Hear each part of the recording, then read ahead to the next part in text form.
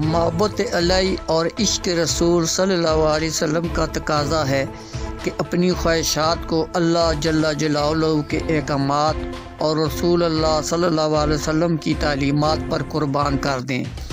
अपनी ख्वाहिशात के पीछे भागना, इनकी तकमील चाहना, मोहब्बत और इश्क नहीं, हफ्स के लाता है। मोहब्बत और हवस में फ़र्क करना सीखें। जिसको मोहब्बत और इश्क हो, वो अपने महबूब की ख्वाहिश की तकमील चाहता है। जैसा कि हज़रत बिलाल हबशी, हज़रत अबू अयूब इंसारी हज़रत अवैस करनी और दीगर साहबा इकराम रजवान अजमाइन ने अमली तौर पर करके दिखाया। इन ख्याल का आज़ार करते हुए आलमी मुबल अजलाम principal U K academy of Islamic science, Sheikh Ahmed दबाब खताब करते हुए कहा। एक पूरा दरख्त जो है वो उगता है।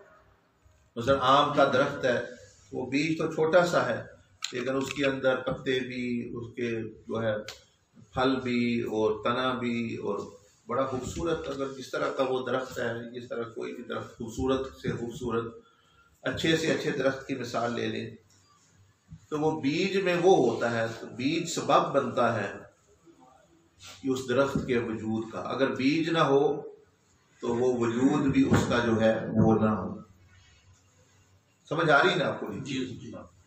अब इसको जो मोहब्बत को बीज से लिया गया है तो इसमें बहुत बड़ी एक मार्फत की बात छुपी हुई है।